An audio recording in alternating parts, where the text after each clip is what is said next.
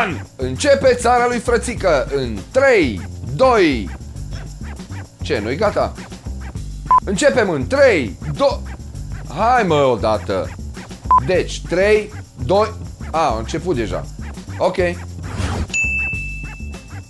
Pentru început o să vă arătăm cum se face treaba în alte țări. Nu că românul n-ar fi inventiv, dar dacă ar fi să concureze Dorel al nostru Ce băi, nu-ți mai ajunge strada? cu taiwanezul ăsta, cred că Dorel ar lua somn instant, prin knockout. Deci omul are un camion și se grăbește. Hai, Vasile, că la 5 trebuie să fiu la autobază! Dai, dai, dai, dai! Dai, dai, dai, dai, dai!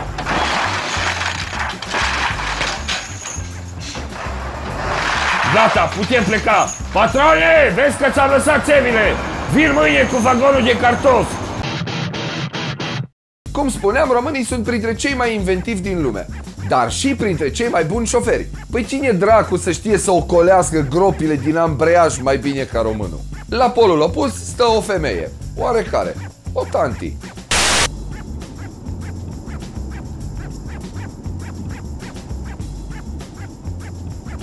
Atenție! Am descoperit ce mașină are Bianca Drăgușanu. Bine, femeia s-o fi uitat sub mașină să vadă dacă s-a încadrat bine pe bandă. Era bine încadrată. Dar cât bulan să ai! Vă rog să priviți cum mașina individei, fără șofer, trece printre bandă și o altă mașină. Fui la mustață! Fata o fi mâncat ceva bun, bun în copilărie. Cred că mai mănâncă și azi. și sigur, oglinzile laterale sunt acolo ca să... Îți faci freza în ele, nu de altceva. Paparații l-au surprins sâmbătă seara pe Dan Senzaționez cu survolând perimetrul fostului sediu OTV. Bine, omul era nostalgic. Sau o fi uitat să oprească gazul în garsonieră. Ce faceți? Sunteți melancolic? Da, încerc să reiau emisia de aici. Ca la Europa Liberă, vom încerca să emitem uh, de pe un vapor din afara apelor teritoriale. Am înțeles să Va trăiți pupa. respect. Auzi, da, am eu o idee mai bună. Du-te, măi, nene, senzaționescule, pe vapor, în afara apelor României, în afara oricăror ape, stai acolo pe vapor și nu emite nimic, ok? Nu mai ne faci și nouă un favor, îți faci și ție unul. O descoperire epocală a fost făcută săptămâna trecută la televizor. Cea mai importantă descoperire de la dinozauri încoace. Iată cum sună telefonul lui Adi Minune. Da. Nu pot să cred cum îi sună telefonul! Te să-mi duc dragostea Ca să nu se întoarcă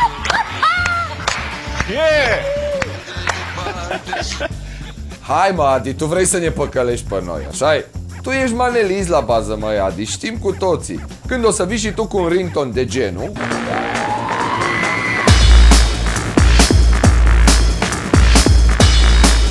o să te credem pe cuvânt. Până atunci, Manelistule! Ha, ha, ha, manelistule! și rămânem la telefoane mobile. Cu siguranță mulți dintre voi îl știți de pe internet pe Don Machiavelli din Iași. Omul cu mărțișoarele handjob. mățișoare tradiționale sau handjob-ul? Ăsta e. Săptămâna trecută, omul a ieșit pe stradă cu o întrebare. Simplă. Pluralul este caramele.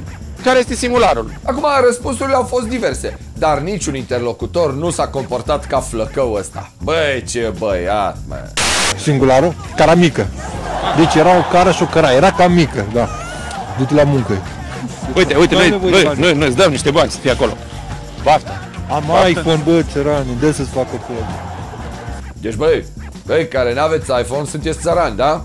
Bine, adevărul e că fiecare își cumpără ce vrea, dar nici cu un ochi cu lanternă nu poți să faci nu știu ce poze. Feciorul nostru și-a fi luat iPhone ca să-i rămână bani de covrigi. Și eu, chiar dacă aș fi avut iPhone, i-aș fi răspuns altfel lui Don Machiavelli.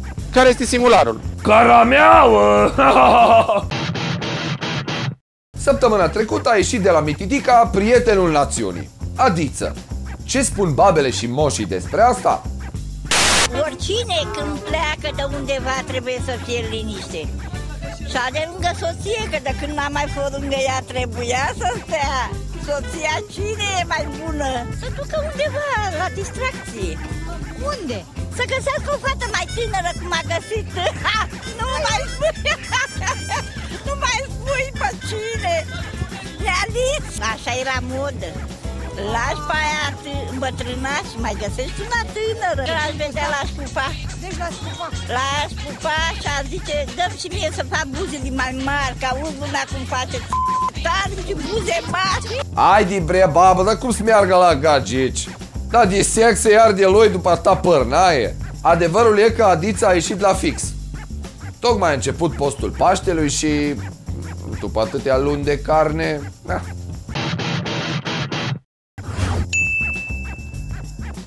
Câștigătorul tricoului cu vacă cu cabină de săptămâna trecută este fanul de pe Facebook cu numărul 71806. Se numește Andra Diana și este din Brașov. Ea a câștigat tricoul vacă cu cabină de la bumbac.ro. De săptămâna aceasta avem un regulament nou la concurs, dar vă povestesc puțin mai încolo.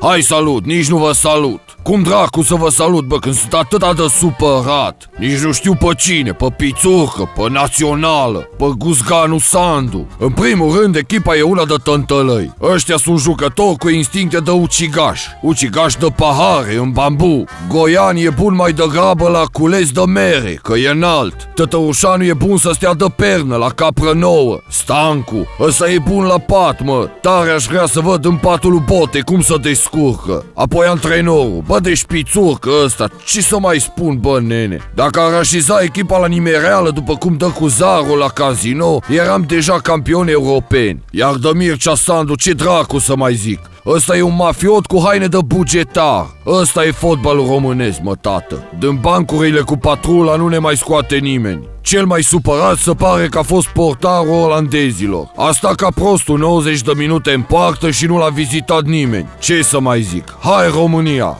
Hai sictir România! Am primit atât de multe propuneri pentru failul săptămânii de la voi, încât în această săptămână ne-a fost foarte greu să ne decidem. Așadar, pentru prima oară la țara lui Frățică, am făcut un colaj din cele mai bune failuri pe care ni le-ați trimis voi. Nu o să facem din asta o regulă, dar hai că odată treacă meargă. Vă mulțumim tuturor pentru propuneri. Tu, tu, ia ce prostă Filmează-mă!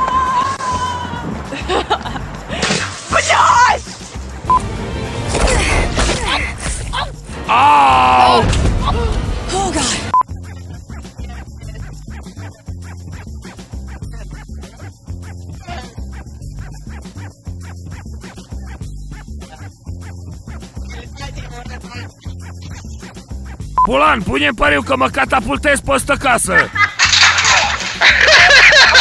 Ia Pitbull, fără mâini! Ai! Și acum... Romanian Ninja episodul 1 Hua, hua, hua, hua, hua, hua, hua, hua. Ai, ai, ai, ai, ai, ai, ai.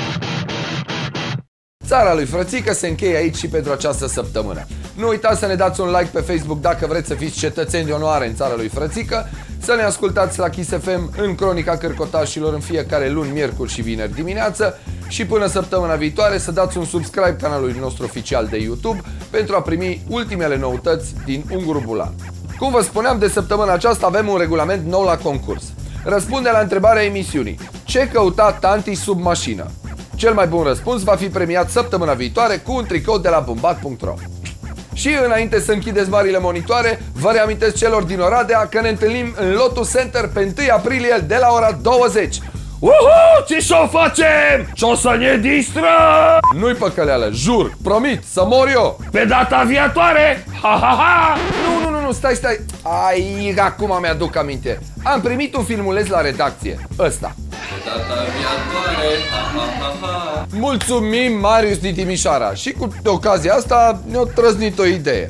Filmează-te și tu dacă ai chef, în budă, la școală, pe stradă, în fața blocului, în fața mașinii, cu prietenii, cu gagica, cu cățelul, cu câinele, cu pițica, cu mâța, cu rudele, spunând pe data viitoare Ha, ha, ha!